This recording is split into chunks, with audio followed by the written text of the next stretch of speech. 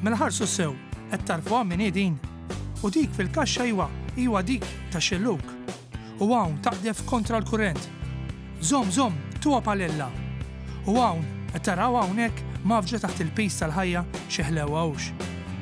Mela din Kristina Zammit, ħanlaqgħakom magħha.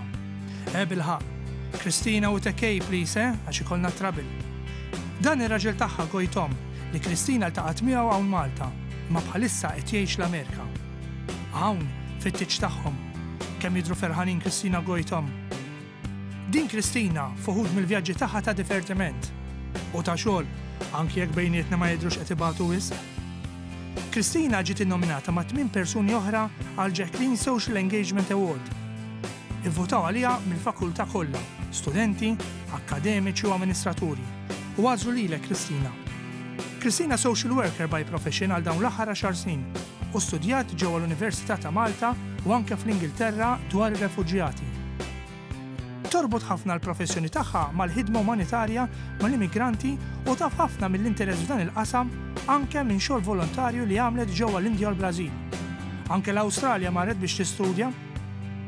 Dan is-settur tħobbu wisq Qalet li jekk terbaħ dan l-award tixtieq li l-Fakultà tgħinha biex tkompli ssaħħaħ il-kampanja tagħha u tal-JRS favur ir-refuġjati issa li t-THPN ħa titneħħa. Why am I working with JRS? It's not just because it's a human, humanitarian agency, but also because of the values that we hold so dear that makes us so unique. And sometimes we forget that. And it is good to bring it back and to remind us why we are doing this work. Christina tgħid li t-tieni familja tagħha hija l-GRS u temmen li dan is-settur għad għandu ħafna fejn jitjieb. Christina ddeterminata li anke jekk fiż-żmien li ġej ħa tmur l-Amerika biex tgħix ma' raġel tagħha Gojthom, hi ħa tibqa' taħdem f'dan is-settur, settur li għad hemm wisq tbatija fih.